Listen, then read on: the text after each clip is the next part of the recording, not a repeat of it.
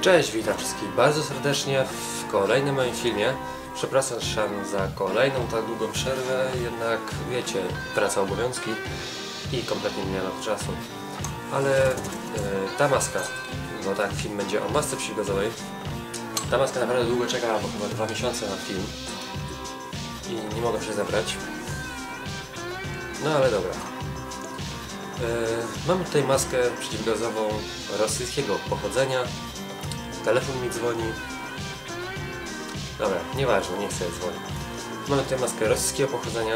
Mm, Maska nazywa się, że tak można powiedzieć, GP4U. Naszym odpowiednikiem tej maski była maska przeciwgazowa NL. Jak widać, maska y, nie ma komory fonicznej, ma tylko komorę zaworów. Y, jest dość zbliżona do MC1, bardziej tutaj z y, oczu. No i tutaj troszeczkę podobna właśnie komora foniczna, jednakże tutaj mamy, jak widać, może na razie jeszcze odkręcę pochłaniacz, bo do pochłaniacza zaraz wejdziemy. Y, Rura jest połączona na stałe z częścią twarzową. Tutaj tak wygląda.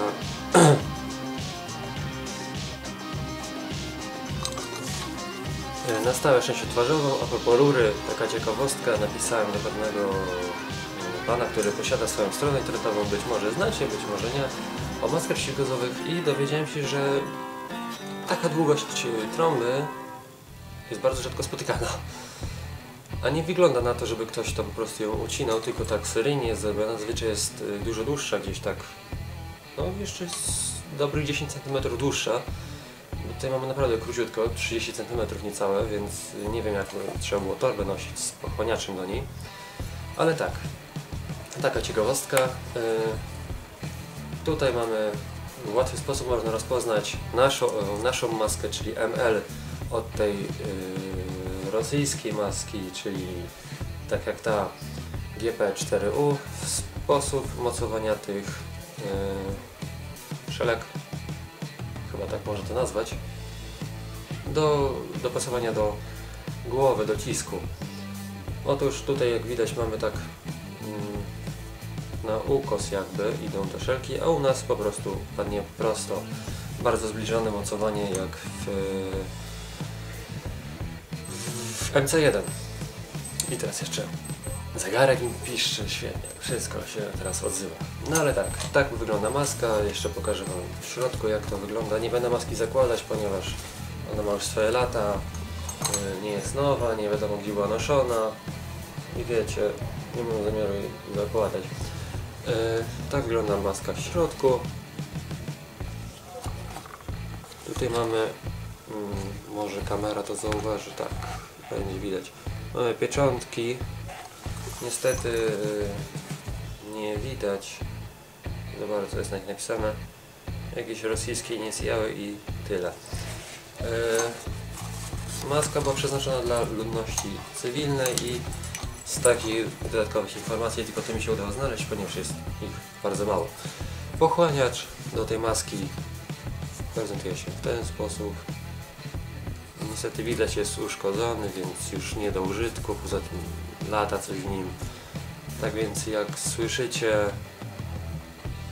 że pochłaniacz się coś przesypuje, czy ma taki uszczerbek jak tu, lepiej już go nie używać, bo nie wiadomo, chociaż yy, znaczy akurat tego budowy nie znam. Nigdy takiego nie otwierałem, więc nie będę mówić, nie wypowiadać się, jeżeli się nie znam na tym pochłaniaczu. Ale tak on wygląda. Tutaj mamy, że to jest do tej maski GP4U.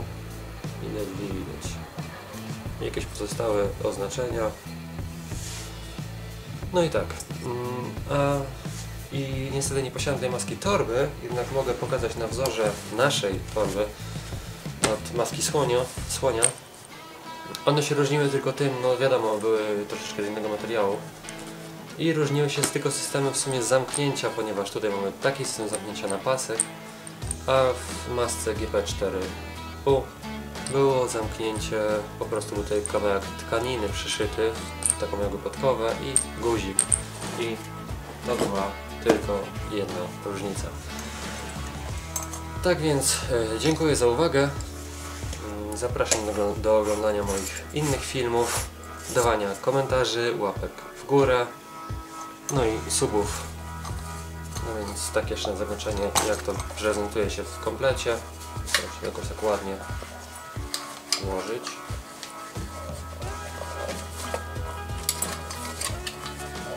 No, no, chyba, chyba będzie ładnie. Tak to wygląda. Maska w komplecie. I hej, cześć!